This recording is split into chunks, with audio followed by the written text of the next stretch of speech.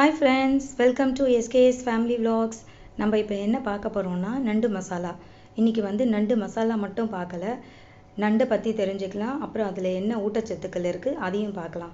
வாங்க நண்டு வந்து அரிசி கழுவின தண்ணி விட்டு நல்லா அலசி எடுத்துக்கோங்க. இப்போ நான் காமிச்ச பார்த்தீங்களா நுனியில் அதையும் கட் பண்ணி எடுங்க. அதுக்கப்புறம் ஆரஞ்சு கலரு தெரியுது பாருங்கள் அதையும் நல்லா சுத்தம் பண்ணி எடுத்துட்டு அதில் வந்து கல்லுப்பு மஞ்சள் தூள் அதை சேர்த்து நல்லா அலசி எடுத்துக்கோங்க. நல்லா க்ளீன் பண்ணிவிட்டு எடுத்து ஒரு ஓரமாக வச்சுருங்க. அதுக்கப்புறம் பார்த்தீங்கன்னா தேவையான பொருட்கள் கொத்தமல்லி கருவேப்பிலை வெங்காயம் தக்காளி இஞ்சி பூண்டு பேஸ்ட் தாளிப்புக்கு தேவையான பட்டை லவங்கம் சீரகம் ஏலக்காய் கிராம்பு அப்புறம் மசாலா. ஃபஸ்ட்டு என்ன பண்ணுங்கள் வெங்காயம் தக்காளியை வந்து கட் பண்ணிவிட்டு ஏன்னா நம்ம அதை வந்து வதக்கி அரைச்சி தான் எடுக்க போகிறோம் ஸோ அதனால் வந்து அந்த மாதிரி ஒன்று பாதியமாகவே கட் பண்ணிக்கோங்க.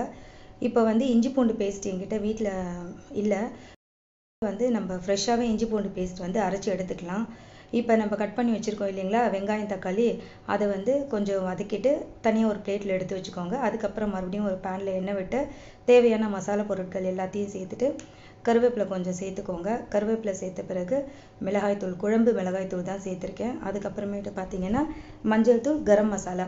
அதையும் சேர்த்துட்டு ஒரு கிளறு கிளறிட்டு தேவையான அளவு தண்ணி ஊற்றிக்கோங்க தண்ணி ஊற்றிட்டு அப்புறம் தேவையான அளவு உப்பு. அதையும் சேர்த்துட்டு நல்லா மூடி வச்சுருங்க. அந்த வாசனை போகிற வரைக்கும் மசாலாவுடைய வாசனை போகிற வரைக்கும். இப்போ நம்ம வந்து அந்த வெங்காயம் தக்காளி இஞ்சி பூண்டு பேஸ்ட் எல்லாத்தையும் அரைச்சி அதில் சேர்த்துட்டு மறுபடியும் வந்து கொஞ்சம் தண்ணி விட்டுட்டு நம்ம வந்து மூடி வச்சுருங்க. இது ஃபஸ்ட்டு வந்து பார்த்திங்கன்னா கொஞ்சம் நல்லா தண்ணியாக தான் இருக்கும். அதுக்கப்புறமேட்டு கொஞ்சம் நேரம் கழித்து பார்த்திங்கன்னா ஒரு அஞ்சுலேருந்து பத்து நிமிஷம் கழித்து பார்த்திங்கன்னா மசாலா வந்து திக்காயிட்டு இது எண்ணெய் பிரிஞ்சு வந்திருக்கு பார்த்தீங்களா இந்த நேரத்தில் வந்து நம்ம க்ளீன் பண்ணி வச்சுருக்க நண்டை சேர்த்துருங்க. நண்டை சேர்த்துட்டு அதுக்கப்புறமேட்டு இறக்கும் பொழுது ஒரு பத் நண்டை சேர்த்த பிறகு ஒரு பத்துலேருந்து பதினஞ்சு நிமிஷம் அது இருந்தால் போதும்.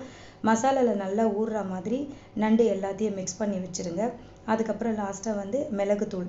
மிளகு வந்து நான் உரலில் இடித்து சேர்த்து தான் போடுறேன். மிளகுத்தூள் கொத்தமல்லி தழை அதை சேர்த்துட்டு மூடி வச்சுருங்க.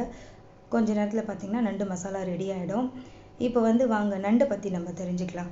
நண்டுடைய ரத்தம் வந்து பார்த்திங்கன்னா கடல் நண்டுடைய ரத்தம் நீல நிறத்தில் இருக்கும்.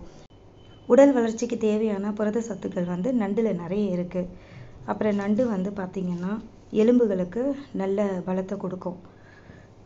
உலகத்திலே பார்த்தீங்கன்னா மிகப்பெரிய நண்டு எங்கே இருக்குதுன்னு பார்த்தீங்கன்னா ஜப்பானில் உள்ள சிலந்தி நண்டுகள் தான்.